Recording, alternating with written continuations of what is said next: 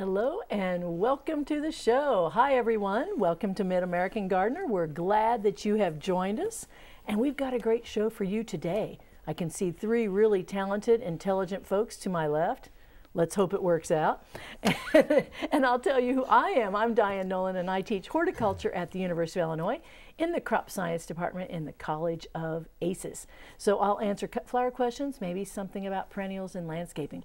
But we have three more folks here, so let's throw it over to you, Chuck Voigt. Hello, Dianne. I am Chuck Voigt. I'm also in the uh, crop sciences department. My specialties are vegetables and herbs. Um, and in fact, I brought some things that I rescued from the cold. Um, as the as the seed catalogs come in for next year, I want you to keep Swiss chard in mind because even if you don't have any interest in eating it, it is just so fantastically beautiful. The color saturation in the petioles, you get these reds, you get you get oranges, you get all sorts of other other great uh, uh, things going on. Um, if you are interested in eating it, it it it's great. You can you can use the leaf blades layer them in, in lasagnas and things like that, like you, you do for spinach. The, the, the petioles take a little longer to cook, but they're also, also pretty good.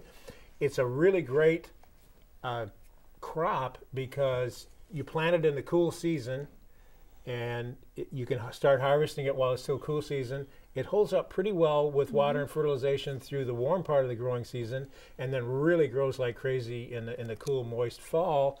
And so you can get a, a, a very long season where spinach or something is only a couple of weeks in the spring and and maybe a few weeks longer in the fall. But Swiss chard is uh, is really cool. The variety of the colors together, just in a row, looks so good. Looks great in pots. Right. Yeah. Bright Lights is, is the All America mm -hmm. Selection variety that mm -hmm. That has has a pretty good uh, color variety. I like that idea of layering it in lasagna. Never thought about that. Sounds good. Well, good. Thank you for bringing the Swiss chard. All right, we were talking about pronunciation, and there it is, Swiss chard. Okay, I'm going to turn it over to you in the middle, Mark Kemp. Hello, my name is Mark Kemp. I'm a landscape architect. I can answer questions on design, trees, shrubs, perennials, you know, anything particular there. Um, I'm going to answer an email. Uh, this is specifically about a catalpa tree, but it'll uh, correspond to other things. Our catalpa tree is large, is large and produces good shade. The problem is we don't like the flowers and the beans. Is there a way to stop the tree from flowering in the spring and stop the bean pods in the fall? Technically, yes, but that's really not the problem. Um, Obviously, if there's a nuisance like the pod um, or the bean pod, or in other cases like an acorn, it's really the choice. So obviously, it sounds like this tree was inherited to the site. Um, the tree in itself, a catalpa, is going to get so large that the, the means to eliminate flowers and eliminate pods is not going to be manageable. Um, so usually it's just solving the problem that the pods might create. So you could do like a mulch bed underneath and that would be easier to clean up the pods and not be so much of a, a maintenance nightmare or something like that. Um, but really it all starts in the beginning and that's selecting the right tree um, so that you don't get a situation that is unpleasant or unsafe.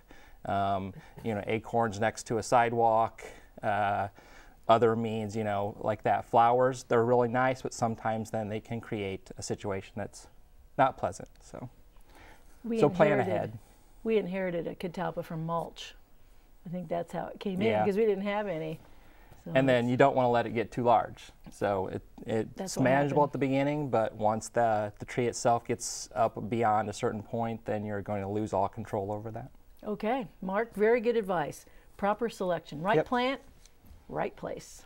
Okay, all right, we've got a smiling person next to me. Let's find out who it is. Why, it's Shane Cultra. Uh, hi, Shane. Hi, I am Shane Cultra, and I am one of the family owners of Country Arbors Nursery and Cultra Nurseries uh, in Urbana, Illinois and Onarga, Illinois.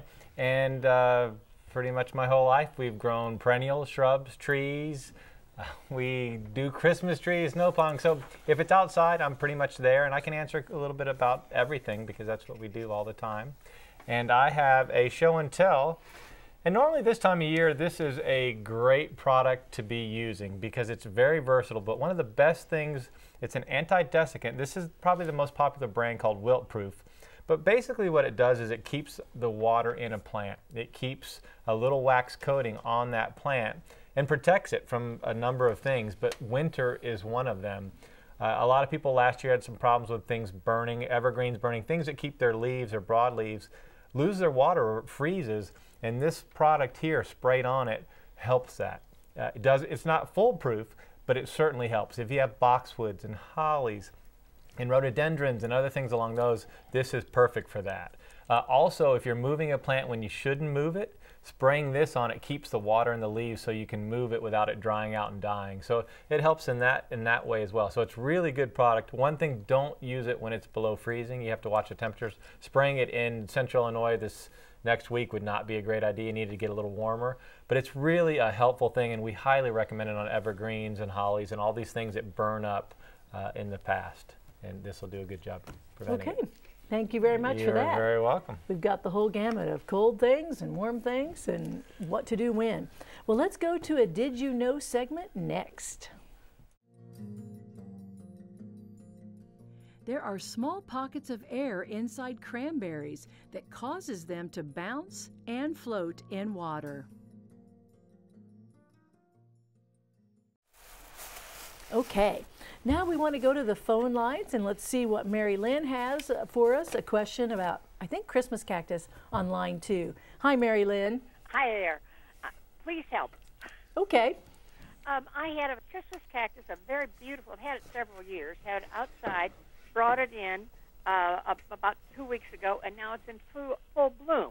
How can I get it to wait until Christmas? Oh boy. Well, part of the problem is they sell Thanksgiving cactus as Christmas cactus because it works better from a merchandising standpoint. Shane might be able to uh, address that. But uh, the Thanksgiving cactus is programmed to flower around Thanksgiving, and it's great if you want to sell plants on the promise of Christmas, but but th- that's the case. Christmas cactus usually is better about waiting till at least December. So I don't know if what you have is a true Christmas cactus or if it's if it's not. Uh, a true Christmas cactus has rounded lobing on, on the on the stem segments, where the the uh, the Thanksgiving cactus has pointed segments on on there, and you know unless unless you're willing to do some pretty complicated day length maneuvering, I don't know that you're going to keep a Thanksgiving cactus from blooming until Christmas. I know I do wait quite a bit to bring my Christmas cactus in, which was just very recently. But yeah, there's Thanksgiving, there's Christmas, and there's Easter. Yes. Cactus. And I'm pretty sure Christmas is like next week because of all the advertising I've seen. So Oh, it really doesn't sound that far off. maybe that's it. Yeah, everything's moved forward. I've heard. I'm going with the Thanksgiving cactus answer. I Okay, yeah, yours is probably if a we better get to choose. so you may want to get another plant and actually have a Thanksgiving and a Christmas cactus, and then Yeah. get one for Easter. Okay, thank you so much for that question, Mary Lynn. Now let's go to line one, and Marcia's going to ask us something about geraniums. Hi, Marcia. Good evening. Hi. Uh, I'd like to know, we brought in our geraniums potted and in the basement. How often should we water and how much water? And then do we cut off the blooms now? Well, you don't you don't have to. I mean, you when you bring them inside, they'll probably they could bloom all winter long, but they're definitely going to go towards the drier side in the winter, and it'll naturally go that way anyway, just because the, the basement's probably a drier spot during the winter, because a lot of people use humidifiers down there anyway. But we, I kind of do the same way. I don't let them go bone dry and turn so the pot comes away, the dirt comes away mm-hmm. from the pot. So I let it dry out almost completely and then water it. So I, you don't want it to you're not going to get it to grow real well in the basement. Um, but it, you do want to keep some moisture on. it. You don't ever want to let it go bone dry. And you can cut the flowers off, but I, it'll probably bloom. I'm always surprised how begonias and geraniums bloom the whole winter down in the basement with some, if you have light. So if it decides not to, just let it do that naturally. Yeah. But let it flower until then. Okay, thanks so much, Marcia, for that question. And now let's go next to a lawn question. And Tom is on line three. Hello, Tom. Hello, I, I, I really enjoy your program. Thank you. And I'm thinking spring already. Excellent attitude. Uh, I've got some low spots in the yard, and uh, I'm thinking about bringing in some black dirt and probably four, six inches deep in some areas. Now, do I have to bring up, tear out the old sod, or can I just put it on top and then seed it? You do that all the time. yeah, I mean you can, but you're still going to get a little bit of uh, kind of interference between there. It helps to, to tear up the area a little bit. That way you kind of get a, a good mix with the topsoil you're adding. Um, you get good drainage through. There's a good exchange. Um, a little bit of work will go a long way with results. And that way it just, the water goes through. Yeah. It incorporates. You don't have to take it all up, but if you tear it up and uh, mix it in well together, you should be good. Okay. Well, I like that spring attitude already, talking about the lawns. Okay, now we're going to go to a white pine question on line two with Walter. Hi there, Walter. Hi. Um, I have a very mature white pine, actually several white pines in my uh, yard. This particular tree is about 30 feet high and probably about 50 inches in diameter. About the middle of the summer, it developed a white, powdery substance on the trunk and limbs. Uh, it looked like talcum powder. Uh, it's a kind of a moist area back there, and I'm wondering if that might have been the cause of this, or if the tree needs uh, uh, some sort of a treatment. But it wasn't a sappy type because they, they, the barks often gets real sappy on a, especially a white pine. Um, the the substance I'm talking about was almost like somebody sprinkled baby powder on the tree. A very heavy coat of it. Um, that one that one's out of my realm too. I- I'm not familiar yeah, I don't know with if it that. could have been a white mold or not. Well, Uh, it depends on how damp it was. It shouldn't. White white pines typically don't have a whole lot of um, issues that way. I think you might have stumped us, Walter. That doesn't sound familiar because Yeah. they are very tough trees. So if we find out any of our disease um, plant pathologist colleagues, let us know. We will certainly check back with you. White mold was pretty strong in the area in crops, but uh, it could have just kind of ventured out of a field a little bit. Interesting. So we're not sure, but that is, we're hazarding a guess, and there it is. All right, so thank you for those questions. Let's go back around to a show and tell for you, Chuck, if you are ready. I'm getting there. I brought in some celery as well. First of all, we have just more or less a, a standard. I think this is a variety, Utah, some some number, and I tell my classes and anybody else who will listen that we don't do a particularly marvelous job of growing celery here. Um, the, the petioles don't get as big and thick as, as we would like, and then you need to tie it up and, and blanch it out so that they get lighter in color. What you can do, the flavor is just is just really intense, and if you're going to use it for, for anything else other than stuffing the petioles, it, it's just fine. Um, and then we, in the trial, we had a red celery, which is reddish, and I think probably if it, if you were to blanch that and the green went away, the red would become um, more prominent. Uh, it's not as vigorous as, as, as the other, but uh, if you were looking for a, a novelty item, that might that might work. I'm kind of hung up. And then finally, we've got uh, celery root or celeriac or celeriac, depending on pronunciation, and it just gets a nice kind of craggy looking root. It's kind of ugly on the outside. You would peel that, put it in in uh, acidulated water so that it doesn't doesn't oxidize, and then again use it in soups and stews and, and whatever. Um, so my recommendation would be if you're going to grow celery, you know, grow it as a as a flavoring, not as as what we normally normally use celery for. We just can't keep up with the grocery store in that regard. I've, I've never in my whole gardening life had anything that was even remotely close to that. We do a good job with this. This didn't get particularly big this year. They can get as big as a 16-inch softball or even even larger. And, and so the, the root celery we do well. There's also a, a, a, an herbal variety that's a leaf celery that's a little finer textured yet than this. And uh, we can do a good job with that and, and you know dry the leaves and use them in, in different ways. But but this is probably as, as good a celery as I've had in several years, and it's it's not spectacular. So celery likes a little cooler summer and moist? It likes a cooler summer. It likes to be moist but never wet. okay. This summer we were we were wet. this was at the wet end of a, of a wet summer field, so uh, it didn't it wasn't particularly happy with that. Uh, it, it did never dry out, which was good, but it, I think the aeration was a problem for part of the season. And I don't know why this one uh, branched so much on the sides. We got all of these all these little side shoots coming off the side, and I I don't know if that was a response to stress or, or what was going on with that. and then the other is lovage, the herb you're talking about, or is there no, another there's a leaf celery, a leaf celery? So there is lovage, which is a perennial. right? It does self-sow though, and at least has- in my garden. uh, lovage is, is interesting because it has round, hollow stems, and if you make your Bloody Marys or whatever, you can you can use it as a stirrer, but also as a straw. Aha. Mm-hmm. I see. So we are learning a lot about celery-like things. Okay, well, good. I've not seen the red celery before. That was interesting. Okay, thanks, Chuck. And now let's go to you next, Mark. Okay. I have another email here. Um, my iris plant has been reblooming, or has been blooming in early spring for four years, and I noticed that it is, is blooming now, again this year.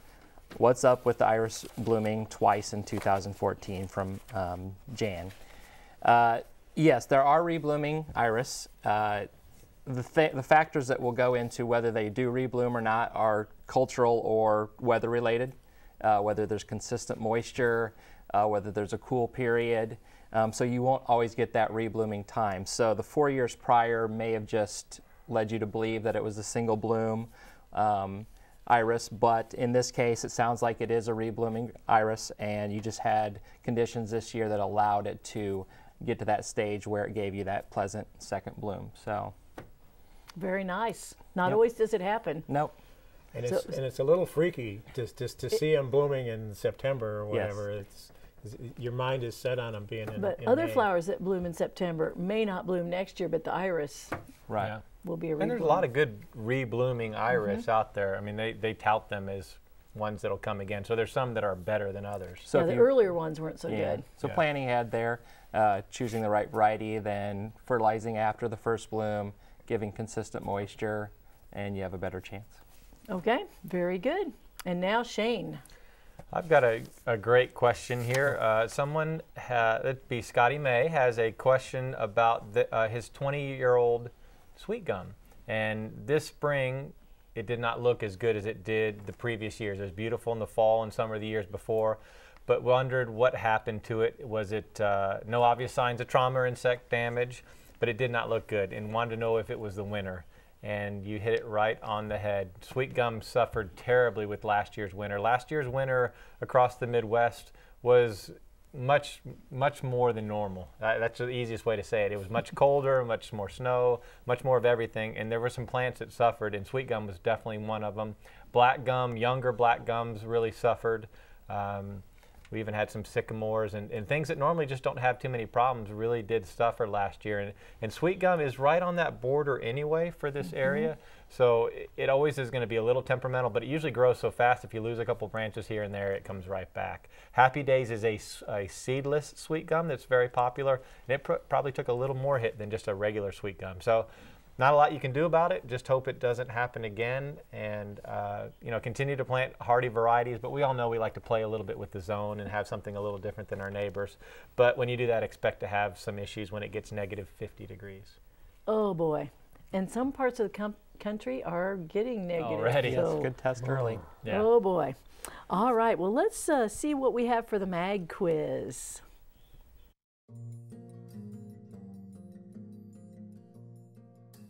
What general term is given to the trees and shrubs whose leaves fall in autumn? A. Deciduous. B. Evergreen. C. Ambidextrous. A. Deciduous. Deciduous trees tend to lose their leaves seasonally, mostly during the fall. This happens when leaves are no longer needed and have finished their purpose. This is the natural process for plants. All right, speaking of deciduous trees, let's go to Cynthia with an oak tree question on line four. Hi, Cynthia. Hi, thanks for taking my call. You're welcome.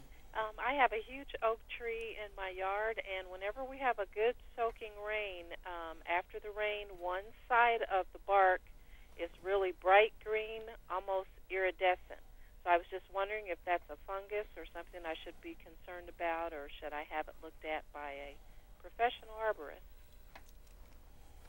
We see. We, I get this question all the time. That's just a natural green moss that grows on the tree. You've ever heard the saying that moss grows on the, the north side? I think it is. Yeah. We, we get people bringing in branches, and it's like a little furry, bright green, teal moss. And some trees can get absolutely coated in it. And every time they bring it in, I take them out the back door through the kitchen and show them a tree just coated in it to make them feel better. It's completely natural, no loss to the tree at all. Um, and it looks a little odd, especially like you said, when it gets wet and the sun hits it perfectly, it really shines. But there's no problem at all. Just enjoy its beauty. Yes, I like the way you describe that green on the side of the tree Yeah. because it's just what Right. you would see in woods and forests. And Yeah. Yep. So enjoy it. That's the answer for uh, from us to you. All right, now let's go to Nora's question, and she has a question about a rose on line one. Hi, Nora. Yeah, uh, this is Nora from Arcola. Okay. I was wondering if it's necessary to cut your rose bushes back and how short you should cut them back. Okay, Mark, we're going to yell uh, over to you about should we prune roses right now? I wouldn't. I wouldn't. Chuck, Nope. Shane. No, I, I bring them. I'll bring them back a little bit occasionally. Get that big scraggler that's sticking out, and I will take it and maybe make it look a little prettier for winter. But I leave the heavy pruning until spring when I see a little bit of green coming out because I always say you're probably going to lose half your rose on a hard mm-hmm. winter. Right. It's better to lose half a rose that's three foot tall than a rose that's six inches tall. Oh yeah. And it also catches all the leaves and the It- and that- it, pr- it catches its It own helps. protection. Twelve Yes. plastic bags from Meijer comes in. Maybe that's just me, but it does catch a lot of stuff. But that's great for the plant. It protects it, and that's why you keep grasses. Same reason, keep the grasses Uh, up. and even letting uh, fall mums collect leaves is good for them. Now, Yeah. I the only thing I harvest, I mean, cut on roses, are to maybe harvest rose hips occasionally Right. for decorative items. But as Shane said, or a wild wild yeah, branch that I goes get out. one you that can three cut those foot back taller than the rest time. of it. that's a whole different thing. But Yeah. that's some of the things you don't want to do: grasses, roses, Yep. Yep. Probably other Hy- things. that hydrangeas a- occasionally. That's Mhm. a whole show on hydrangeas, but yeah, that's you definitely. You can always do a little maintenance, a little trimming, make it look good for winter. Make you know shape it up a little bit, but you don't want a h- hard prune. don't get carried away. Yeah, don't get too excited. Okay, well, we're going to uh, sneak one more question in about sunset maples from Steve on line three. Hi, Steve. What's your question for us, Steve? Hi.